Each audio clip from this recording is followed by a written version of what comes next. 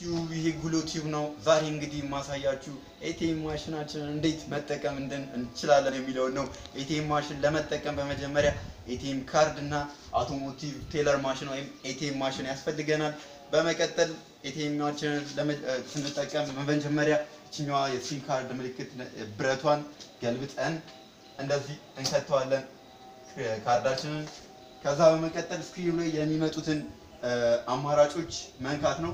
ለመጀመሪያ ቋም ላንጉጅ ያስመርጠናል። ላንጉጅ ለመምረጥ እዚህ ጋር ያሉትን በተኖች ጎን ላይ ያሉትን በተኖች እዚህ ጋር ይህን ተጫኑ ይለናል። ይህን መጫን ነው። ከዛ በመቀጠል ፓስኮዳችንን ወይም የይለፍ ቃላችንን እናስገባለን።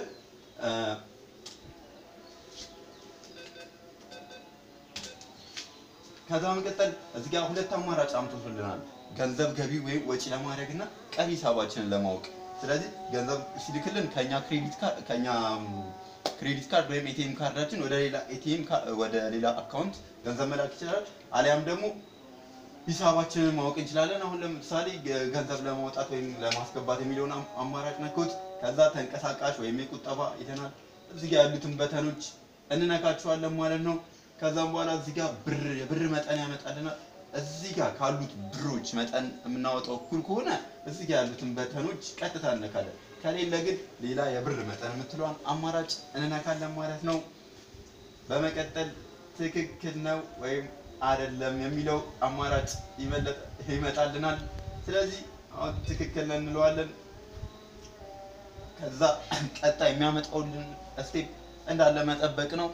ቀጣይ የሚያመጣውን step ከሞላን በኋላ በመጨረሻ ሰዓት እዚህ በምናየው በዚችኛዋ side ላይ ብራችንን ያመጣልናል። በብዛት አንዳንድ ATM ማሽኖች የመዘግየት ባህሪ አላቸው። ስለዚህ አልወጣም ብሩ አላወጡትም ብላችሁ ስትሄዱ ብሩ ቆይቶ መውጣቱ ስለማይቀር በደንብ check አድርጋችሁ አረጋግጣችሁ ብትሄዱ አሪፍ ነው እላችኋለሁ።